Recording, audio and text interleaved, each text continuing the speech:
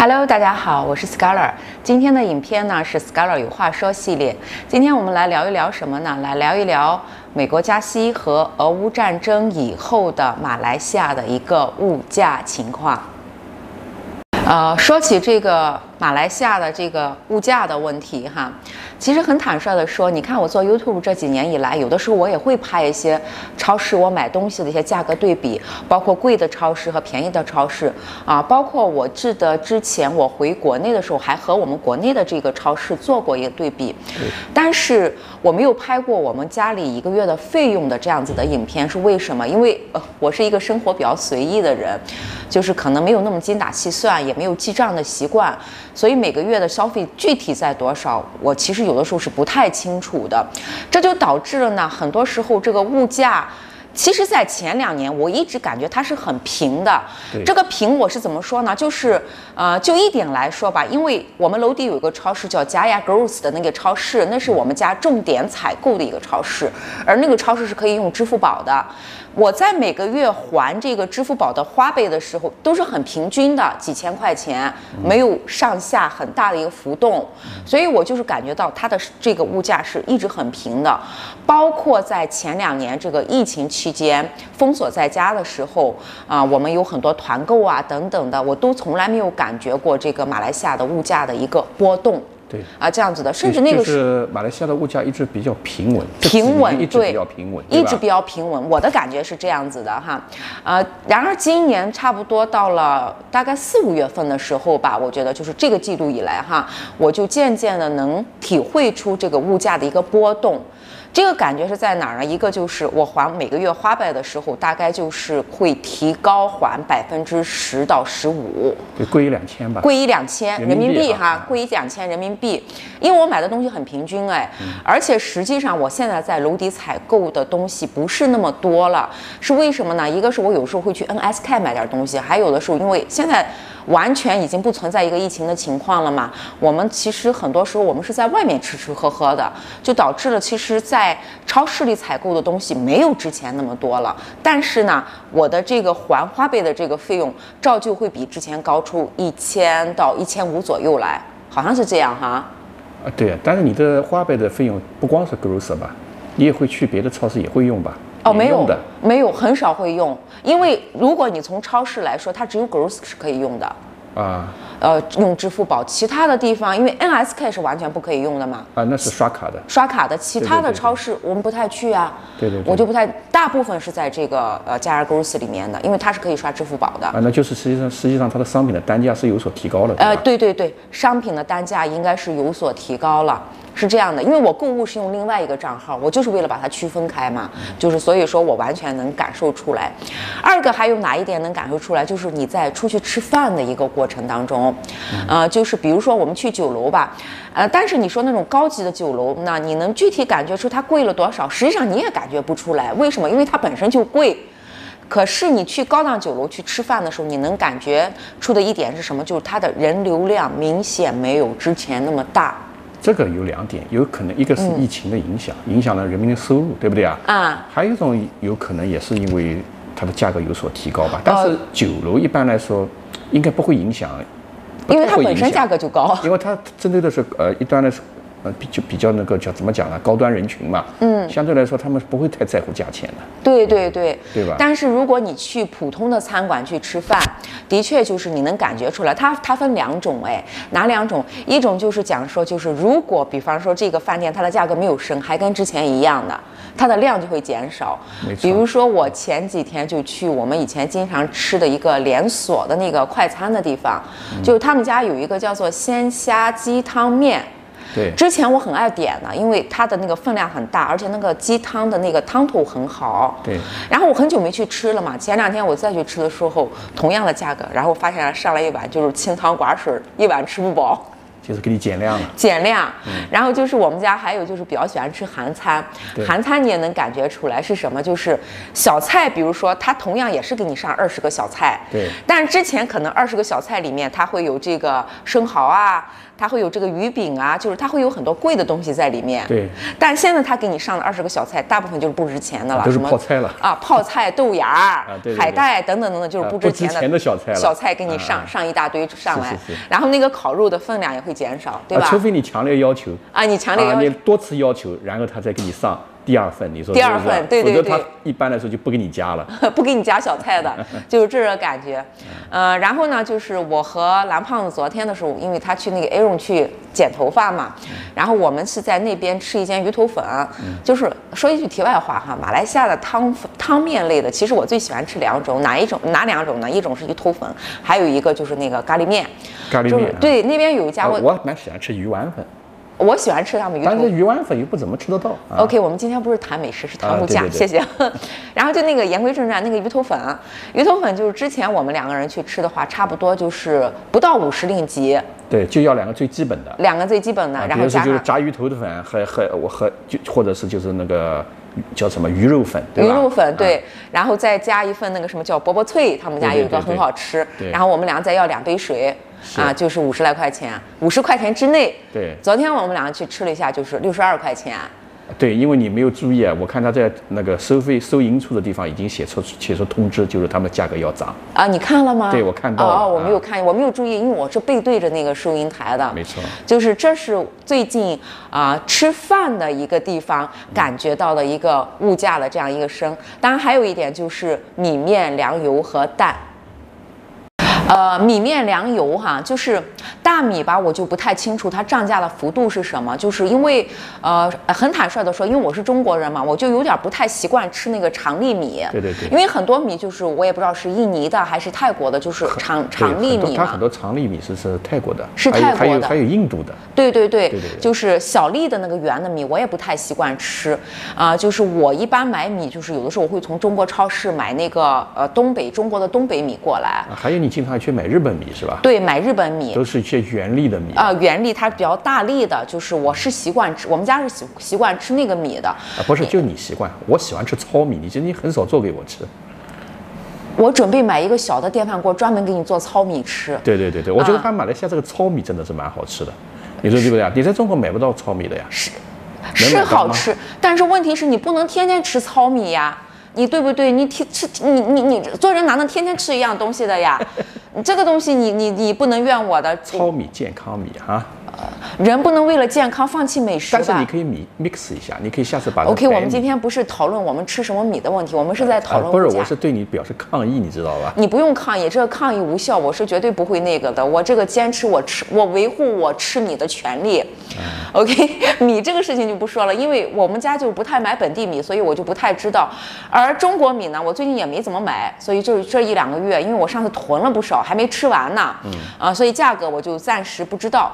啊，但是这个面粉，我们家其实吃面粉吃的蛮多的，就是在家里吃饭的时候，我基本上隔一两个星期我要做一顿馒头的。对对对对因为我是北方人，我不吃馒头我不行的，我必须要吃面食的吃面食的，我不吃面食不行的。就是面粉的这个价格，我是最知道了。为什么？因为我从来了就开始买面粉，对对对一直买到现在。以前我们在最早去那个 Tesco 买那个啊面粉的时候，有一种最便宜的绿色袋子的。我跟你讲，绿色袋的那种面粉吧，我印象很深，只有一块七毛五到一块九毛五之间。哎呀，不是的，就是还有一公斤是那个上面画了个大红花的那一种的，啊那个那个大红花的那个才一块两毛几，啊，一块两毛几啊！刚来的时候，啊，对对对，现在可能就差不多在两块左右了。基本上翻一倍。对对对，还有一种更好的就是它可以做面包的，啊原来是可能是两块九毛几，现在是三块多点出头。就是面粉这块，我感觉它差不多是涨了百分之十到二十之间吧。这肯定可以理解，啊，因为你看现在现在这个啊俄乌战争嘛，这个面粉这个这个小麦这个东西运不出来嘛，这个面粉涨价是必然的。但是我觉得这个幅度还行啊。这个幅度完全能接受。大大马这个面粉的这个涨价幅度，我觉得就从单从一，你不是说天天吃啊，你是你偶尔吃吃的话，就是说不是说天天都去吃的话，那一公斤的话涨个一块多钱，我觉得你就天天吃，你你天天吃它也长不出来。说一公斤面粉可以做很多馒头的，一看你就是没数的人。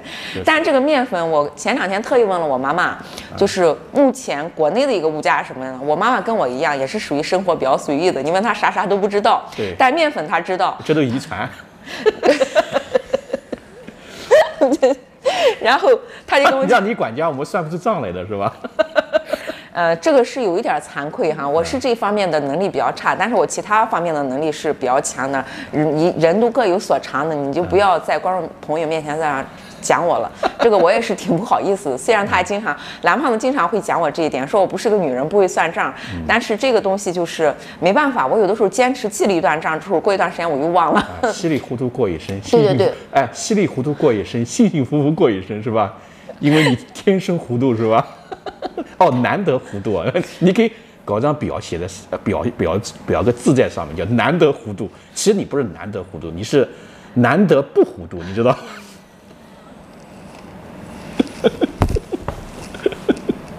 你关了吧。OK，我们言归正传，忽略蓝胖子对我的调侃哈，就是我问了一下我妈妈，就是中国的一个物价的情况，我妈。反正虽然他不太知道，但是他也知道是。他说：“哎呀，现在东西都很贵。”他跟我讲，我就问他面粉多少钱，他跟我说面粉是四块钱一斤。啊、这个东西这个地方跟大家科普一下哈，我们中国的斤和很多地方是不一样的，就是中国的叫市斤，一斤是多少呢？就是五百克。啊所以一公斤是一千克。他说一斤的话是四块人民币，嗯那一公斤就是八块人民币，嗯然后算到令吉呢，差不多就是五块多。对，五块多。这样算下来，因为马来西亚的一袋面粉也是一公斤算嘛，没错没错。对，马来西亚的面粉它是比国内在就是目前这个情况下是便宜两块多令吉一公斤的。也是便宜一半左右。啊，对对对是这样的就是所以你综合来对比，包括其实这一段时间，我有的时候也去问问我泰国那边的邻居，啊，有的时候也问问就是我们这边就日本朋友他们在日本的一些物价的情况，包括也看新闻关于美国的一些什么啦，就是嗯。我大体能得出来一点是什么呢？就是虽然全世界都在通货膨胀，对对对。但是马来西亚这个通胀的情况应该来说是算是比较少的，对我，因为看他们嗯官方数据好像是，啊、上个月左右的这个通胀水平是在三以内吧，两点五到三。对所以最主要的原因就是马来西亚的通货膨胀的水平可能在整个东南亚还算是比较低的了。不能说整个东南亚，我觉得全世界来说应该都算是比较低吧。对对对对当然，我们不能得到一些所有的数据，但是东南亚来说，的确是它是所以说中国的。通膨也不高，说是差不多也是三以内，但是我感觉中国的物价应该比马来西亚高不少，中国的基础物资啊。这个东西就真的不太清楚了，嗯因为很久没有回国内了嘛，你不太清楚国内到底是怎么样一个情况。但是就是我的邻居，他们在去年的时候回过中国，他们跟我讲，中国是现在物价是通膨的蛮厉害的。就是他举了一个例子，就是他们之指食物啊，食物食食物方面。他举了一个例子，他说他们一家三口以前去饭店吃饭的话，可能两百来块钱，他能能吃得很好，人民币哈。是是是。现在怎么着就是都得到三百三四百块钱。对，啊，这样一个情况，就是这个就是只能到有机会回回国了之后，你才能去做一个对比了。没错。现在是没有办法做出对比来的。因为你知道吧，主要是中国的油价比较高。我讲到油价是指石油的价格哈，嗯。我听说是九块多人民币一升油，对吧？哦是是是对吧？因为如果是油价高的话，就石油那个汽油的价格高的话，嗯那么整个这个基础物资的价格就会高。对我但现在是马来西亚因为现在是政府保护机制嘛，嗯，这个石油的价格好像汽油的价格还是那九十五号油还是维持在两块零五分嘛。嗯我认为这个是主要是让它基础物资虽然涨，但它不会很离谱，大概是这么个意思吧。嗯，应该是这样子来的。但是也确实有涨，的的确确是，对吧？嗯啊，不光是油价，就是就是食物价钱。应该是这个，一个是跟战争有关系嘛，对另外一个就是我觉得跟这个油价也有关系。对马来西亚之所以这样，呃，包括它的食用油啊，还有这个呃蛋类的，呃，其实也有涨价，但是都不多。没错呃，食用油就像我们家以前是吃那个就是一种葵花籽油，我是吃葵葵花籽油的，我之前买好像是三十八左右一桶。是多少啊升啊？，三十五到三十八吧，哦我也不知道多少升，反正就那一桶，要不然你待会儿去拿来看 看。你不知道多少升是吧？那现在是四十二左右一升，那应该是五公斤吧？呃，好像应该是五公斤吧？五公斤对吧？啊，五公斤。但是我我这里讲一句啊，我因为上次我们俩去超市，啊，去逛一圈的时候，我发现他们的那个好像那个棕榈油是涨得蛮厉害的，你发觉没有？因为我以前，呃，棕榈油是马来西亚华人新年之前都要做促销的嘛，嗯，我印象很深，二十四块到二十八块之间。一桶五五公斤的哈，但最近我怎么一看，它也是四十来块钱五五公斤，不可能吧？它怎么可能比葵花籽油还贵？这就我就所以我也很很很很疑惑了，因为按理说马来西亚这不是产棕榈油的吗？怎么会棕油会涨这么多呢？哦，这是有点奇怪。但是因为它的货架现在很很乱，它有的有的牌子它就四十多，它有的牌子还三十多。啊，二十多、三十多哈，三十多，这个我就搞不清楚，这是为什么？是不是它有库存呢？哎，我跟你讲，你讲这个，我想起它可能最近是在各个超市都在调整物价。调整物价。为什么？因为我下去买牛奶的时候会发现，就是我常喝的那个牌子的，就是一种粉色的澳洲的牛奶啊。对对对。现在经常买不到。就是一个塑料包两桶装的。对对对，经常买不到那个牛奶吧？现在涨价就涨的挺多的了。没错。以前可能我是十八块钱买两桶。对，九块一瓶嘛。对，现在好像九块一升的，对吧？现在好像是二十多块钱了。二十多块就是差。不多十十一块钱，十一块钱一升。对对对，对对啊？就是你，而且你经常会买不到，就是你会发现那个奶制品的架子上经常会缺很多奶。对，因为因为这个我我比较清楚，牛奶我买的比较多，所以我我知道的。因为以前最早的我们吃那 Good Day 的，对吧？啊，Good Day 那个一般是七块钱。最早来的时候七块钱，还还有六块八的，对吧？现在反正基本上都在八块多啊，八块多左右，对不对啊？也就是说，这个一升奶也是涨了将近一块马币到一块五马币之间吧，嗯嗯，是吧？这个这个我知道啊。另外鸡蛋我也知道价格，嗯，因为我们家是买一种叫做江宝的，就是那个鸡蛋很大大粒的那种的。江宝的。之前我买一盒是十五个啊，十五个的话是七块来钱啊啊。今天我下去的时候，我特意看了一下价格，它是九块多了。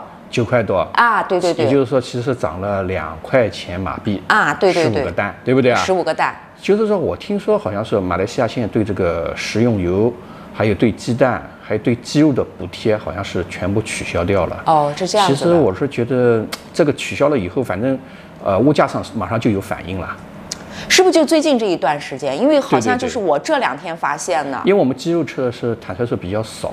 主要我们家就吃点鸡翅，对吧？但是鸡肉真的不是我们家消费主流。对鸡肉我不怎么，你你了解吗？我是不怎么了解了，没怎么感觉到，没没没没怎么采购这个鸡肉，对吧？我一般就是从我们群里有一家，他们家是专门卖那个走地鸡的，走地鸡的，就是那个叫什么？呃，就是黄色的那个黄皮鸡，你煮汤用的，还有个马草鸡，我都是买来煮汤的。它的价格我觉得好像没什么大的变化吧。可能你要再去买的话，价格也啊，因为我最近没有买鸡，对对，我就不太清楚。但猪肉好像是也是涨价，猪肉是之前应该是三十多块钱一公斤吧。啊，现在差不多是在四十多，就是我是买那个樱花肉嘛，对对，猪肉也是稍微，但是还是那句话，我觉得这个涨幅其实就是对我们来说，我们是觉得蛮 OK 的，还能够接受得了。但是不能否认的一点就是的的确确它是会有一些涨价这样子来的。啊，米面油蛋肉差不多都有对比了哈，然后就是蔬菜。呃，蔬菜呢，就是因为我是经常在楼底买，就是那个一袋儿一袋儿的，对对对，就是价格吧，你也感觉不出来。可能比如说它之前是两块三，它可能现在两块六、两块七，呃，几毛钱可能你体会不出来。但是我有一个疑问的一点是什么？就是我发现最近一段时间，就是我们楼底这个超市，别的地方我不太清楚。就是我觉得它蔬菜的种类没有之前那么多。我指的是绿叶菜，绿叶菜，就是比如说我之前很爱吃的一种，就是短的那个小苋菜啊，然后空心菜，这这两种是我最爱吃两种绿叶菜。我有的时候就经常买不到。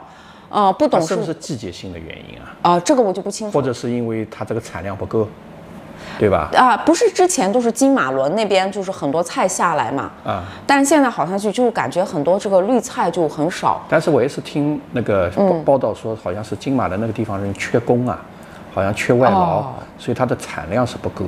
它会有很多菜，它都直接送到酒楼去了。对对对，所以它的菜肯定也是贵了。但是呢，贵多少这个无法计算，除非你到这个巴萨去买这一公斤一公斤的，你才能体会得到。嗯，如果你一包一包的，确实你搞不清楚它是给你多少克的嘛？你说对不对？因为我们就做一顿两顿嘛，你说是不是？但是我买我在那个家雅里面买那种小的南瓜呢，因为我经常那个煮那个南瓜，我知道南瓜粥来吃的，对不对？一半一半的啊，那个南瓜我是觉得有提高，以前是不到两块钱，一块多，一块五到一块八。我经常买到就同等个头的。现在这个一般的话，基本上是两块多，两块二、两块三这样子，就是贵了几毛钱，嗯，是这样子。这个是我有体会的。哎，只有一点哈，我觉得没有涨价是什么？就是牛排。哦，就是我们楼底这个牛排很奇怪的一点就是，不懂是不是因为马来西亚本地的华人朋友不太吃牛肉，很多人不吃牛肉消费不的关系，够是吧？消费力不够，嗯就是因为可能马来人他们吃的那个牛肉可能是本地的会比较多，对对对。但是我就发现这个因为你吃的好像是它这里的牛排主要是澳洲和日本的是吧？澳洲和新西兰的，日本的是和牛，和牛啊，对对对，就是这个澳洲和新西兰的这个牛排啊，就很好品质的那一种哈，呃，就是好像它是卖六七百一公斤的那一种的，它偶尔经常还有打折哎，包括那个就是那个皖玉的那个日本的那个很很高品质那个和牛啊，有的时候它也会打折，我猜大概是因为它的消费力不够的缘故。啊，所以你经常抢购这些打折品回来是吧？啊，对对对啊，很好吃哎，这个真的推荐大家买。不过很多华人朋友不吃牛肉，这个就没办法。但如果你吃牛肉，你可以试试。哦，对，话题又扯远了。搞得你在在家吃的成本比在外面吃的还高，是不是啊？你又这么过日子？哎，日本的和牛价格没怎么涨，还打折，你不觉得越吃越贵吗？啊？不是不是不是这个意思，我只是有一个疑问，就是带给大家的，就是我也会有的时候我去买的时候，我也会觉得很奇怪，别的都在涨价，但是他他们没有我估计他应这种价格。该是要要不就是现在的老外，西西方人啊，或者日本人在这边的可能是人，就疫情期间没有那么多。还没没回流啊没有回来，回流回来，所以啊这个进口产品可能是消费力不足吧，所以它才经常打折。也有可能是这个缘故吧。嗯、但是我是觉得说，嗯、我是这么感觉哈，就是嗯，虽然说现在这个通膨的情况啊，这个战争的情况，但是如果马来西亚的这个油价，我指的是汽油的价格，对对对如果还算稳定的话，应该它这个幅度应该不会很高的。没错，但是现在可能也会有一些坏消息了呀。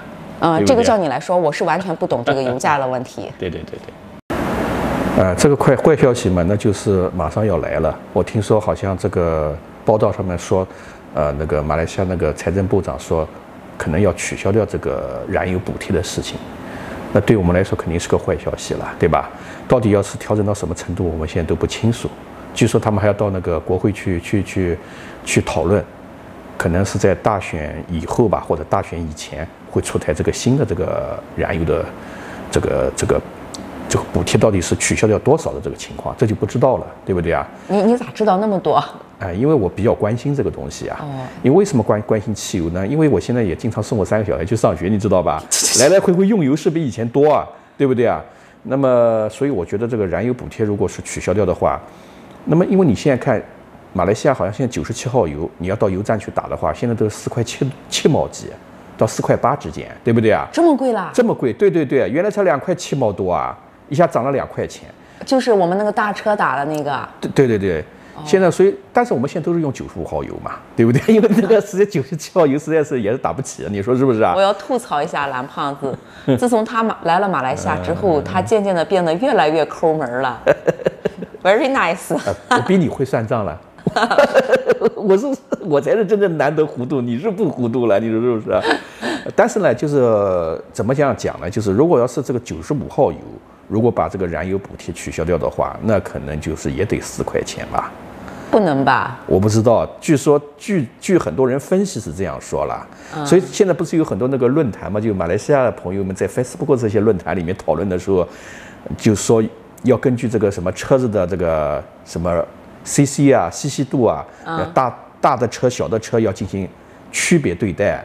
还有说要对那个什么名贵车和非名贵车进行区别对待，甚至还有一个人提出来是要把外国人区别对待，这个对我们看起来就很扎心了，你说是不是啊？那么你我我我这车也是在马来西亚买的，对不对啊？我也是交路税，我也是交保险，我也是其实和马来西亚是朋友们是同等的。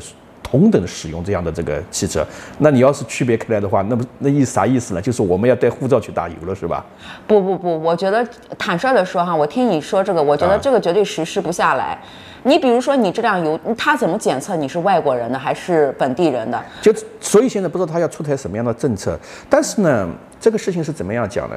呃，前段时间好像，呃，马来西亚这个那个前首相吧，这个包斯库对不对啊？嗯其实我还是蛮崇拜包斯库的，有一说一哈。虽然我知道马来西亚朋友对包斯库有各种各种各样的说法了，对不对啊？嗯。因为他的一些一些一些问题了，对不对啊？但是坦率说，包斯库说的这个理念，我觉得还可以。他是说，那么呃，对于这个燃油补贴吧，你可以取消掉，然后呢，你把这个九十五号油吧，你可以升高一些，比如说你不要两两块零五分，那么你两块一、两块二、两块三都可以嘛？我觉得涨一点也非常合理，你说是不是啊？嗯。然后他把涨出来的这些钱，比如说涨的这个差价几毛钱，对不对啊？嗯。那么你去补贴你们的马来西亚，你们这个就是说低收入的人群，好像你们叫 B 四零是吧？那么你，我觉得这个整这个这个说法是蛮合理的。如果你是完全市场化的，全部取消掉了，首先你马来西亚这个通胀会一下就起来，对吧？对，这肯定对吧？无论是汽油的价格你，你取消，你像其实我们中国也是，因为我们中国的汽油价格贵啊，它这个通膨肯定是在食物基础价格还有其他的基础物因为质它运输费用就高运输费用一下就高了。如果你们也把这个什么，呃，我相信你要是九十五号油把这个燃油税取消掉，对嗯吧？燃油补贴取消掉，那么你的这个叫什么？你的那个就是大车用的那种叫 diesel，那那叫是什么？柴柴油啊，你的柴柴油肯定也取消掉了，对不对啊？那么你这样的话，我那我整个这个物资就会涨，那这一轮涨价就会更加凶猛了，嗯，对不对啊？对当然，我从另一个角度上来说，因为这个汽油时代，呃，我觉得也应该不会延续太久了，因为我觉得以后的时代可能也是电动车的时代了。我觉得你们国家马来西亚应该还是慢慢要引进这个电动车了，因为现在你在马来西亚，你放眼望去，路上开的全是汽油车、燃油车了。对不对？而我们中国现在情况不一样了，我们中国现在基本上，基本上你看你去做做那种滴滴啊，就像他们的 Grab 这样的啊，全部是用这个电动车来做。对，就是我们一九年回去的时候就是很普遍，但是你知道有一个最大的问题在于什么？你得配套上这个打电的地方，嗯对对对，就是这个充电桩。嗯所以说你现在说实在话，充电桩这一块基础设施什么东西啊，还是我们中国做的比较好。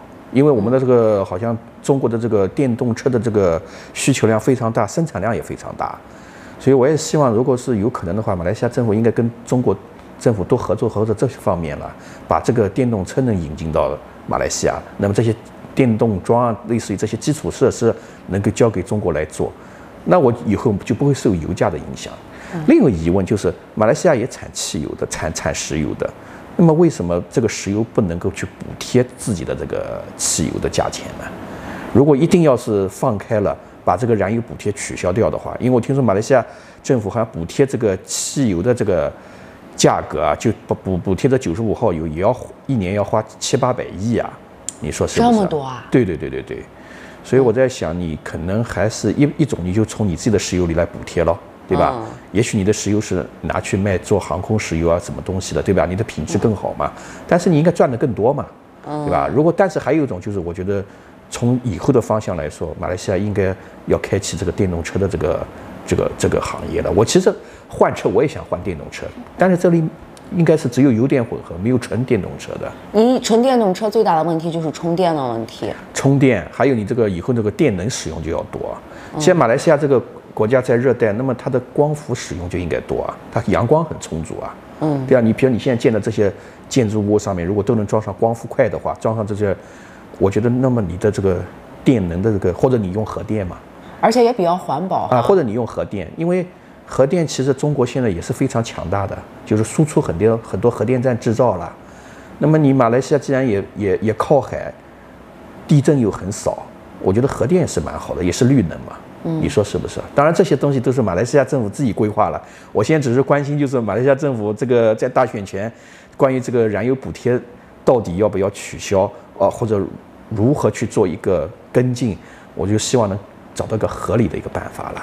你说是不是？嗯，我觉得我挺赞成纳吉的说法了。一路来，我觉得纳吉是在马来西亚应该也算是一个治国人才了。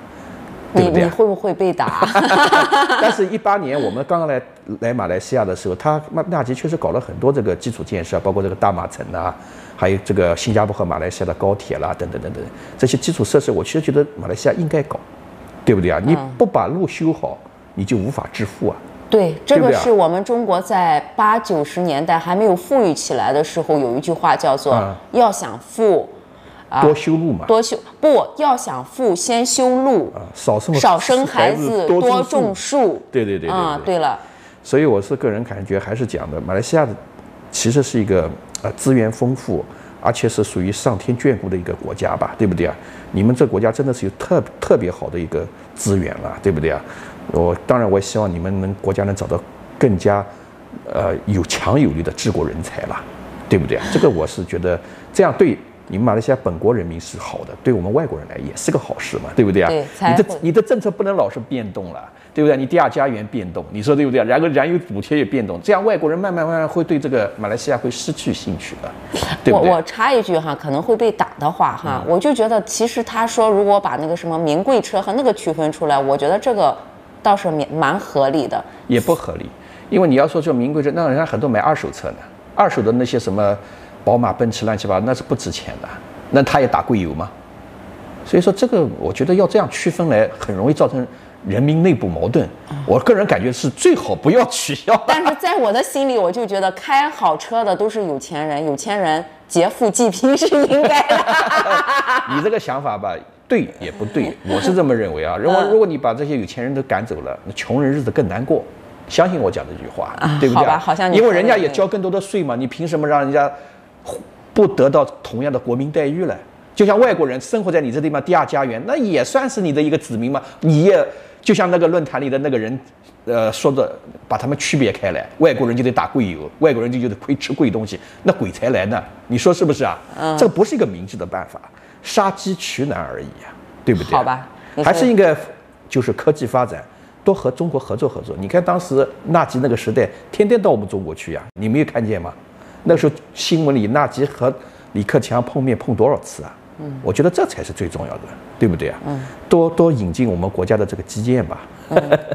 这个是作为我们中国人的一个想法，但是不可否认的一点嗯是，其实目前在这个世呃世界的这个环境之下的话，啊有的时候吧，大家不要有的很多人就是反中的那种人，对对他很排斥中国的一些东西，但是你要看到中国的一些进步没错。和中国能带给世界的一些东西。对对，就像现在的欧亚铁路，我觉得 就是连接中国“一带一路”的欧亚铁路，我觉得马来西亚应该参与，不要错失良机啊，嗯你无论怎么诋毁因为搞基建，不要听那些国家的什么机器啊这些，他们不在行，不是，这只是我们一些笑谈了。啊，笑谈对不对啊？是是因为你在整个亚洲还是要谁和中国合作的紧密，谁就能得益嘛。作为我们中国人呢，我也希望中国公司能来的更多嘛，能更多的投资到马来西亚嘛，这样我们在这个国家里才生活的更带劲，你说对不对啊？嗯是是是这样的。哎对对对对，好吧，那我们就下期再见吧。把你的胖手举起来，跟大家拜拜一下，拜拜拜拜，招财再招财。再招财，拜拜，下期见。